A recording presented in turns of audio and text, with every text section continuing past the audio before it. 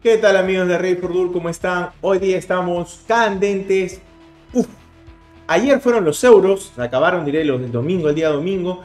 Y ya hoy día martes sale exactamente el análisis de metagame. Si eres miembro del canal, lo viste un día anterior, el día lunes. Es interesante porque explotó lo que sabíamos todos, sorprendió a muchos, porque qué sucedió, en este caso las, los decks que parecían que sí y que no se vieron, así que vamos a ver. Vamos a entrar primero, quiero mostrarles antes de comenzar el análisis del MetaA, quiero mostrarles eh, cómo ha repercutido, tío, cómo ha repercutido, ah, yo y mi, español y mi inglés hasta el queso, eh, cómo, cómo se ha visto afectado el, el caso, espérense, vamos a poner por acá, del formato, o sea, de los precios de Power of the Elements, que es la última expansión y que trajo variedad. Vamos a notar que el campo de los, de los, de los eh, tournaments ha dado una subida espectacular. Vamos a poner con verificados, está en 96, 100 dólares. Y ayer ha hecho que, miren, suba un poquito más, ya se mantenga los 100 dólares. Y el caso de los Sprite, que pensábamos que iba a ser el deck super hiper meta vencer, ha comenzado a bajar un poquito el blue que viene a ser su carta y está por los 86, 81 dólares. Y vamos a dejar esto ahí Vamos a ir a ver eh, nuestra página. Y vamos a comenzar con Joshua Smith. Estoy top 8. Eh, ¿Por qué quiero recalcar esto de los Joshua Smith? Y se los digo. Porque mira, Joshua Smith está llevando en main deck los enemy controller. Y esto, ¿por qué lo quiero hacer realce y recalque? ¿Por qué? Si vamos a ir a Ready for Duel, ayer exactamente, yo he subido por acá el caso del el Most Wanted, ¿no? De las cartas más hypeadas después de este evento. Increíblemente yo hice este video eh, un día antes, porque tenía que salir, porque tenía que hacer unas cosas, hicimos el en vivo de los euros y por eso tenía que hacerlo en ese momento. ¿Qué sucede? El Enemy Controller, el caso de los Rika ha subido. El Enemy Controller, ¿por qué sirve, tío? ¿Por qué los veis útil? Contra los Mirror Match y también contra el Match, el Tournament es muy bueno. ¿Por qué? Porque normalmente cuando tú juegas el Sprite, vas a bajar monstruos y lo que va a tratar de hacer tu oponente, se los digo, es destruirte el monstruo o quitarte el monstruo o interrumpir el monstruo para que tú ya no puedas bajar más Sprite. Se los dije también en los análisis del metagame de OCG. ¿Por qué recalco esto? se los dije en el análisis del metagame de OCG. Porque en OCG sucede casi lo mismo. En OCG se comenzó a jugar, por ejemplo, el Solen el warning para que no tenga un normal sumo. ¿Y qué sucede acá? Josh Smith se ha dado cuenta de esto. Muchos de los decklists que están saliendo y están hablando en Twitter, donde está la comidilla sobre este evento, ha sido el caso también del Enemy Control. Cosas a destacar de Josh Smith. Es el combo de la mina más la Beat Cop que está por acá. Y que muchos han dicho, tío, han hecho un meme de la Beat Cop. ¿no? Acá está Beat Cop of the Underworld han hecho un meme, han estado vacilando de que va a subir, de que va a subir, pero miren, sigue en los precios ridículos, de un dólar y algo, un dólar y algo. Pero han hecho mucho hincapié de que iba a subir, miren por acá, ha subido un poquito. La que ha subido creo que es la Collector Rare, que no la pone acá TCG Player, no sé por, no sé por qué, pero esa es la carta que ha subido. O sea, este es el del meme. Y una tech que me gusta mucho y que es el caso de los Trickstar con la chiquitita. Esta es level 2, o sea, te facilita la forma de que tú puedas bajar directamente la Splite y como cae Special Summon, ya no tienes que estar preocupándote netamente que si es que te van a romper el monstruo o no. Así que esto ha sido una tech muy pero muy buena de el amigo Josh Smith. Recomiendo que lo sigan, tiene su, su YouTube. Eh, también dijo algunas cosas sobre este evento, que si no ibas a Sprite o no tenías el chance para ganar pero sé que ha ganado Rica y muchos van a decir, ah, no sabía. Eh, para leer un poco el metagame y para saber un poco sobre esto, tienes que darte cuenta que cada vez que sale una expansión, eh, vienen algunos decks que renuevan el formato. Tanto Sprite como Terra son decks muy fuertes. Todavía falta un poco más de explosión, falta también una banlist y hay muchos decks que aún siguen jugándose. El Rica no es que haya tenido suerte, sino que ha tenido la gran ventaja de ser bastante sorpresivo. Es muy probable que en el siguiente evento, si es que Rica ya se sepa cómo se juega. Yo sabía, porque acá estuvo viviendo mi amigo, el, mi buen amigo José Luis Garnica conmigo, y estuvo jugando su Navalón, eh, su Navalón Terium, cuando recién salió los Terium, y me explicó un poco cómo se juega, que tienes que negarle más que todo la jugada de Link 1. Así que sé un poco cómo jugarle pero igual creo que en el evento no hubiera sabido cómo jugarle. Eh, creo que por no conocer mucho el deck ha tenido una gran ventaja. Y eso es algo muy bueno y que les digo siempre que cuando van a un torneo, ir con un deck nuevo y con un deck que, por ejemplo, muchos tildan de fan o de esto, es bueno, porque vas a tener la ventaja de que no todos conocen cómo jugarte, que no han llevado side deck contra ti y que te da una supremacía sin querer queriendo que tú vas a poder aprovechar. Vamos a ir por el top 4, que son en este caso eh, los decks que han salido. Vamos a ir por acá. Primero vamos a ir acá con el Evil Twin de Mateo Gugni, que ha hecho con eh, el caso de las Twins, Twins Sprite. Las Twin Sprite también se jugó bastante en OCG. Se los digo porque cuando salió recién el deck, el Sprite, este fue el primer deck opción para juego. O sea, fue uno de los primeros que se comenzó a jugar, los primeros que estaban ahí de moda. Y se los digo porque ya se intentó. Gran ventaja de este deck y que me sorprende que lo haya dejado en side deck es el tema de la utilización directamente del Scyther y que lo está jugando en este caso con eh, las trampas, con el Artifact Samtu. Porque el Evil Twin puede aprovechar que hace spam rapidísimo de links hasta link 4 y podría dejar también el combo Dagda y el, caso de eh, la guadaña pero no se ha dado, es su tema de gusto de juego, pero sí se ha visto en OCG esa forma para jugarlo, se los digo, porque no es nada malo. Hay que recalcar algo y que muchos critican. Este formato, cuando sale un deck nuevo, se juega bastante Hantra. Gran ventaja que tiene en este caso, ¿cuál? El caso de este deck, del Sprite, de que como los combos son 1 2, nada más con una sola carta, necesitas una de el starter o puede ser combinación de dos sprites o un monstruo level 2 de un sprite, te da la facilidad de rellenar de hand traps. Si bien, como se ha considerado, hay un texto que estuvieron pusiendo en Twitter, si no me acuerdo también creo que se escribió Smith o otro jugador, donde dijo que este formato lo que se necesita break removals, de eh, board removal, ¿no? que viene a ser rompedores de campo eh, o, o, ¿cómo se llama? Board, board breaker, ¿no? que son rompedores de campo. En este caso, sí, en este formato se nota que va a evolucionar a esto. Si ustedes han puesto a ver eh, los deck profiles, porque muchos dicen, tío, esto lo has copiado de por acá, lo has sacado por acá, pero me he puesto a ver los deck profile. Tienes que ver el deck profile, está en inglés, lo entiendes un poco, lo pones en traductor y te das cuenta de lo que dicen, por qué utilizan una carta, por qué utilizan otra carta. Y esto te da un aspecto de cómo poder tú jugarlo, te lo digo porque ahí te dicen, ya no necesito esto, lo otro, pero el sprite se aprovecha esto. Este es el top 4. Tenemos este deck que es bastante interesante porque combina los sprites con la Evil Twin para llegar y escalar rápidamente al Link 2. Recuerden que la Evil Twin te da la, ventaja de poder bajar dos Evil Twin. Es muy igual que jugar el Nindel o jugar en este caso la Diva para poder hacer el spam rápidamente. Luego, si seguimos, tenemos en este caso el deck que ha sido controversial porque dicen la mina y esto. Yo debo de aclarar algo. Muchos me dicen, tío, a ti no te gusta la mina, tú eres de los que no te gusta hacer 10 minutos de combo y no dejar jugar a nadie. Pero debo de aclarar esto. ¿Por qué? Porque la mina es muy buena carta para estos decks que son rogue, que son que se defienden, que no tienen mucho eh, explosivo, porque ya pasó su tiempo. Por el momento que salieron era muy explosivo, como era el caso del Altergis, que fue baneado en OCG y ahí lo tocaron acá, no sé por qué, si no se jugó mucho. Pero igual que sigue siendo un buen deck se los digo de verdad. Y en este caso, la mina hace que este deck sea castrosamente fregado. Porque tú, si te das cuenta ahorita, el main deck es basado netamente en mina. Todo es en mina. Demise of the Land es para traer mina al campo. El caso de eh, esta, la, trampa, ¿no?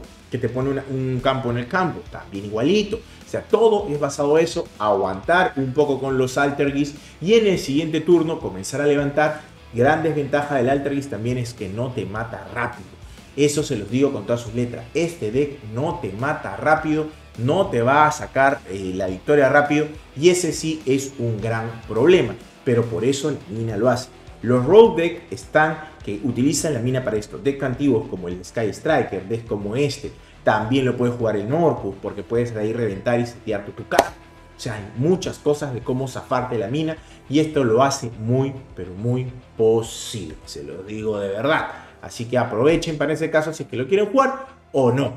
Eh, vamos a ver que es un engine bastante corto porque lleva 3 del Multifaker, que sigue siendo muy buena carta. Y luego Melusic 2 y 2 de la marioneta, o sea, está reducido al mango. lleva la mejor Hunter para mí de este formato, que es el Gamma, y que creo que se va a mantener bastante tiempo. Y un poco de back, y me gusta la línea de Alteris, una del protocolo, una de la magia, que, la trampa que renace, y dos spoofing netamente para llegar rápidamente a el buen multifaker. En el extra deck, lo común que se lleva, me encanta que no estén llevando extravagance. La gente ya se dio cuenta que prefiere 10.000 veces robar lo que tú quieres a robar un más uno que no sabes que puede ser. Shadow Impression Mirror es ahorita una carta que debes de buscar y que te la voy a poner por acá, el Shadow Imprisoning, ¿no?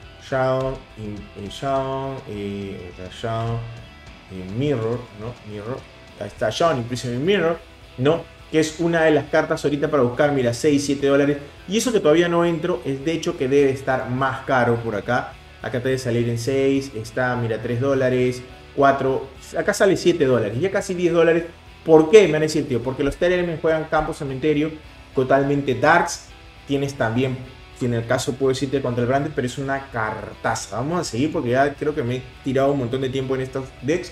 Vamos con el segundo lugar, que es en este caso el, el y ha sido uno de los decks que más ha abundado.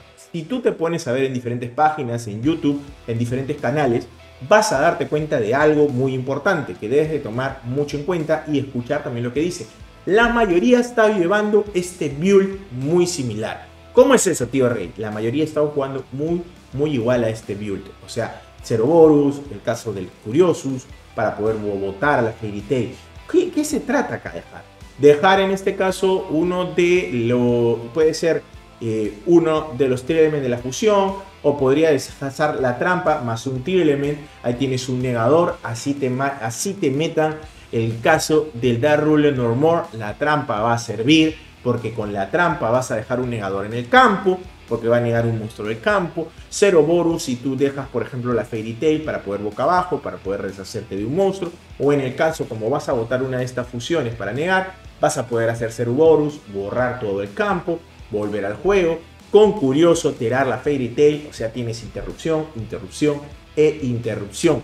Y en el caso que tú vayas segundo, puedes hacer un OTK rápidamente, tanto con los Danger como también con el Orochi. El Orochi también te sirve para pegar, para matar rápido, para destruir. Muchos están llevando uno de estos y lo, me encantó ver el profile de Neven donde dice hay un respeto contra el vaca, hay un respeto contra la mina y eso es obvio. Si ustedes se ponen a buscar los decks que han quedado más top, han sido jugando versión así de este. Y si pones Rafael Neven también. Algo para destacar y que se ha olvidado mucho es exacto la destrucción de back. Y esto lo vemos repercutir, en la final. Porque no tenía nada con qué bajarle el back al caso de eh, la mina, en la, en la semifinal. Pero el tiempo le dejó jugar y en la final nos damos cuenta que un deck como el Rika, que tiene tanto eh, hand traps, tiene floodgates que son back y lo dije en el vivo, las floodgates, este formato, están siendo protagonistas, como son la mina con los deck rolls y con floodgate, que por ahí puedes ver también en Rivali que está, y en el caso de acá eh, eh, es un deck combo más que otra cosa, pero los decks que llevan eso le molestan mucho estos decks que categorizamos, porque también puede incluirme que dije, tal vez el spray pueda ser un tier 0 acá como no sé qué, pero no hay cosas que lo dependan, pero que se categorizan como tier 0 o que deck dominantes de esta temporada, porque es obvio, rotan las expansiones, Konami tiene que vender, se tiene que sacar un deck mucho más fuerte. Cosa destacable es Dimensional Barrier, que lo hemos visto en varias versiones, y el Virus, el Devastation, que te sirve mucho contra el Spray, que hay que ser sincero, contra el Spray es una cartaza. Y el caso de los huevos de Rack, que creo que algunos van a tratar de reemplazar porque se han quedado cortos frente a otros que hayan podido dejar. Y en el caso del de campeón, lo que nada les gusta, que si gana con un kilo de Hantras, que es peor que si lleva un kilo de Hantras, que ganó, si lleva una mina, si lleva Rival, nada les gusta. Acá eh, Jonathan Reyes, tiene razón, o sea, hay que... La gente está en desacuerdo. A mí no me gusta la mina porque alarga el juego, no me gusta que una sola carta te detenga. Si bien que me va a dar rule normal es lo mismo, pero igual creo que es una carta muy destructiva, muy, muy atrasadora del juego. Pero sí, a nadie les gusta, a nadie, nadie va a llegar en ese momento. Qué hermoso es este deck, ¿por qué? Porque lleva la interrupción de la mina y de paso lleva la Flood como es el Rivali para controlar a tu oponente. Cosas destacables de este, que tiene mucho extended. Esta nueva cartita por acá te agrega creo que dos cartas, te hacen mucha jugada. Si te das cuenta, y yo también critiqué al momento del en vivo, porque hay que decir las cosas que uno dice. No hay que negarlas y decir, no, no, no, sí, se dice lo que se dijo y se dijo y se reafirma. Yo dije, qué raro, Abri, caequeado este deck. Tenía un Rivali. Era un brick decente. Un Rivali tenía, creo que un Impermanence. Tenía para aguantarle y aguantó muy bien. Yo no sé qué hizo, quiso hacer en el, primer, en el primer single, pero fue increíble cómo le volteó el Rivali, le comenzó a hacer el, combo y lo dejó fuera. Hay que destacar algo muy importante de este deck. Tiene mucho para el alteo. Tiene la semilla Muchos, tío, pues un amarillo. Es que este amarillo te abre rápidamente uno de estos, esto te agrega, te va a permitir hacer jugada, de acá de traer a esto, renacer, traer a los gemelos, hacer una jugada más. O sea, es muy interesante porque te va a abrir y abrir y abrir. De paso que el glamour que también te ayuda, este nuevo campo, el, el corcón, concón, no sé cómo se llama, de las ricas también es muy, pero muy bueno.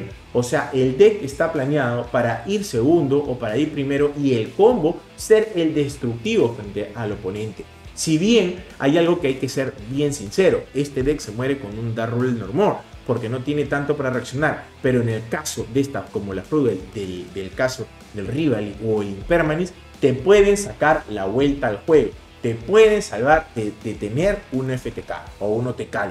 Y en el caso de Siren vamos a ver que Red Lotus se vuelve una cartaza. Por mala suerte no he conseguido, pero Red Lotus ahorita es una de las mejores cartas para Siren ya ha rotado antes, ya ha estado siempre en estos sidings. Y esta temporada es muy buena porque hay cartas como el Slayer, que está por acá, el caso del No More, que si vamos a darle una chequeada a muchos de los decks, lo han estado llevando en main deck, lo han estado llevando en side deck. Hay muchos de los decks que están en el formato ahorita y que han jugado este campeonato europeo, donde llevan esta carta en main, que es muy interesante para este formato y que lo vengo anunciando varias veces porque el costo del droplet como que lo hacía insignificativo para a esta vez. Costaba mucho descartar y el Dark Roller Normal te deja jugar libre. Y la min estando acá te da un baiteo más y un salte de campos muy fuerte establecidos. Esto lo recalco ¿por qué? Porque la gran ventaja de este deck ha sido si voy primero, dejo mi esto, dejo mi combo y si llego a esto voy a poder defenderme con el rival. En el caso si va segundo, tiene el Dark Roller Normal, tiene la mina y si no puede hacer un combo. Hay un combo tan tonto que muchos dicen, mina más un negador de monstruo, ya tienes el match asegurado. Por, de mina diré, diré un Floodgate más un negador de combo, ya tienes asegurado el match. Así sea un Solen Judgment o un eh, Strike. En este caso también el Impermanence te permite en esto protegerte y barrer todo el campo rápidamente. Pancratops, vamos a notar algo. Varios están llevando Pancra. Así que ojito, si es que no lo tenías o si no lo tienes, es momento de volver a rebuscarlo y ponerlo en tu arsenal. Espero que les haya gustado este video de eh, análisis del metagame que hemos hecho esta semana. No te olvides de suscribirte, que la campanilla si quieres ayudar te puedes volver miembro desde un dólar. No te olvides de suscribirte, porfa, y dejarnos tu comentario. ¿Qué te pareció el torneo? Me despido a la próxima. Soy Ready for Do.